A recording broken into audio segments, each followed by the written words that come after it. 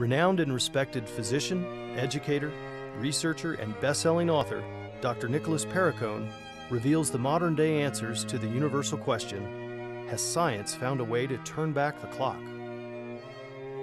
His two decades of research has resulted in the Wrinkle Cure, a program that can actually help reverse the aging process through a unique blend of rejuvenating foods,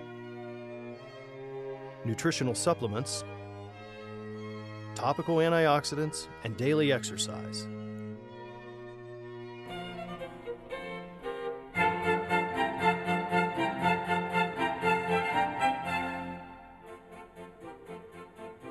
I'm going to start this morning by asking you a question.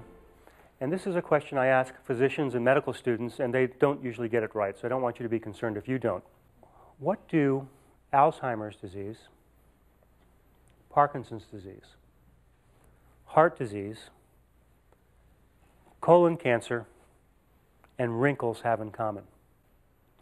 Well, the answer is that inflammation plays a major part in all of those diseases, including wrinkles. Now, my research shows, at least indicated to me, that aging is an inflammatory disease. Now, my colleagues uh, sometimes object to that. They say, well, how could aging be a disease? We all have it. Just because we all have something doesn't mean it's not a disease. In fact, aging is a chronic, uniformly progressive inflammatory disease that is always terminal. So, what if we look at the aging process as inflammation? Then we can come up with therapeutic strategies to treat inflammation and perhaps treat aging.